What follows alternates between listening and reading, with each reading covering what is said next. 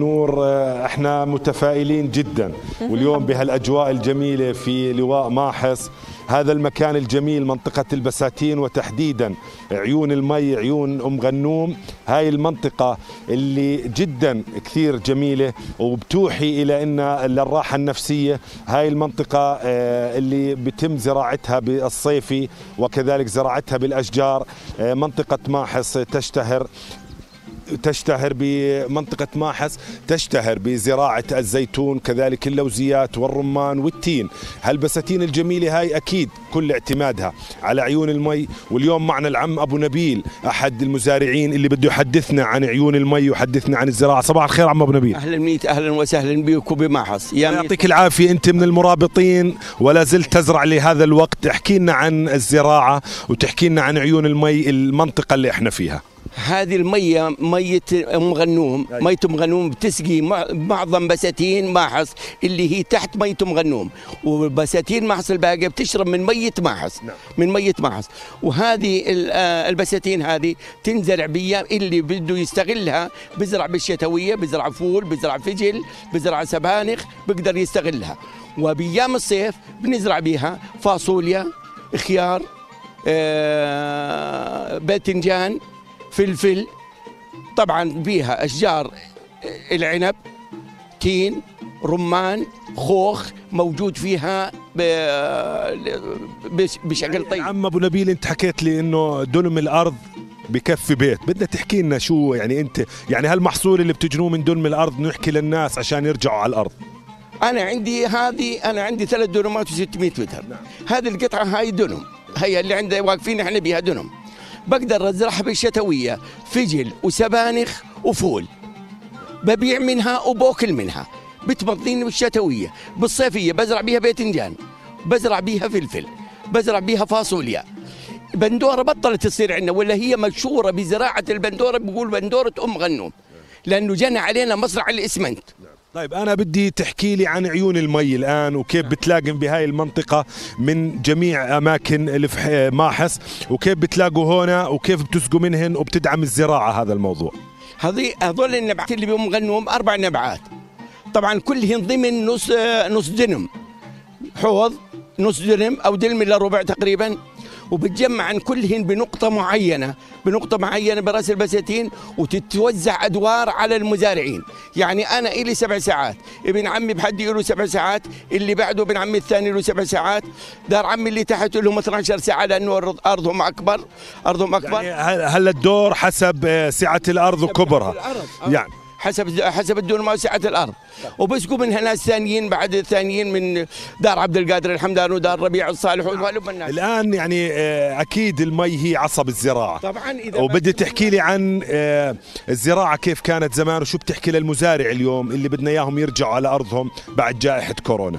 كانت أول البساتين هذولا يعني مون ال- الدار كلياتها وبيشتروا أرض من من ناتجها. وهم كانوا يبيعوا على عمان ويبيعوا على الصلب.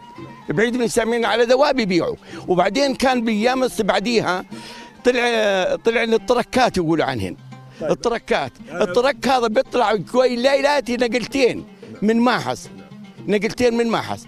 الآن تركت الناس الزراعة وصارت تهتم بالوظيفة والمهم إنه يبيعها ويشتري سيارة.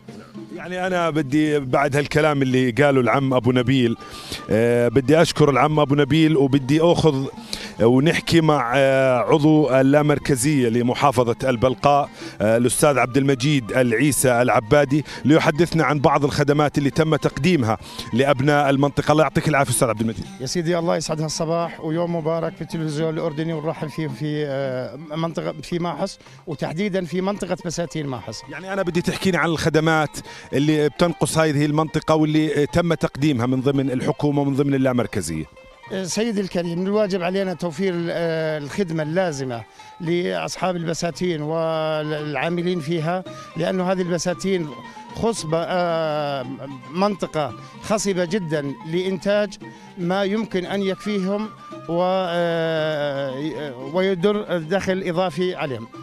سيدي الكريم منطقة البساتين بحاجة لطرق زراعية. الطرق الزراعية هاي بداية لابد من موافقة المواطنين أصحاب القطع الأراضي الزراعية لاستحداث لفتح هذه الطرق. الطرق مرسومة.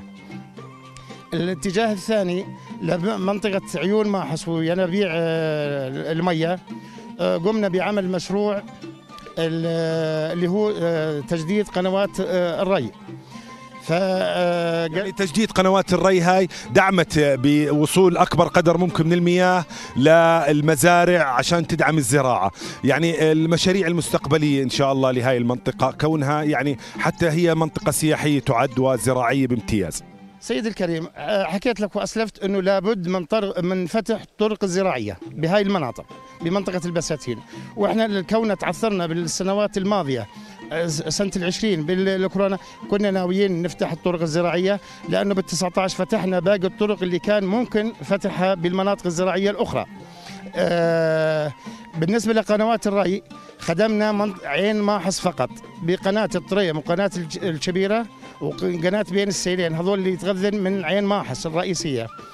آه الآن باقي علينا منطقة عين أم غنوم كقنوات ري ومنطقة الشمالية اللي بتاخذ بتستوي من عين ماحص. يعني أنا بدي كلمة منك للمزارع وعودته إلى الأرض وعودته إلى الزراعة والمردود اللي بجناه كل دنم واحد للمزارع.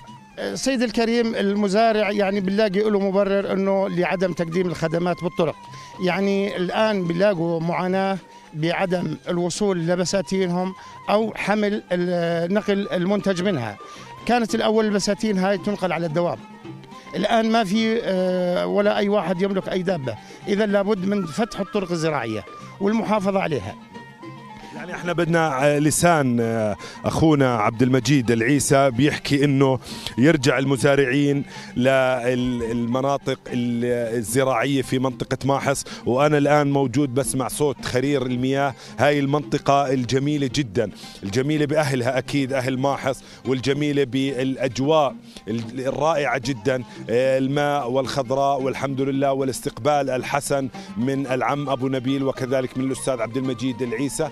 أنا من هون من منطقة ماحص آه، بودي آه، وببعث آه، رسالة إلى جميع مزارعي المملكة آه، التمسك بالأرض لأن الزراعة والقطاع الزراعي كما قال جلالة الملك هو الركيزة الأساسية اللي إحنا بنعتمد عليها في تنمية هذا الوطن والسير به قدما إن شاء الله.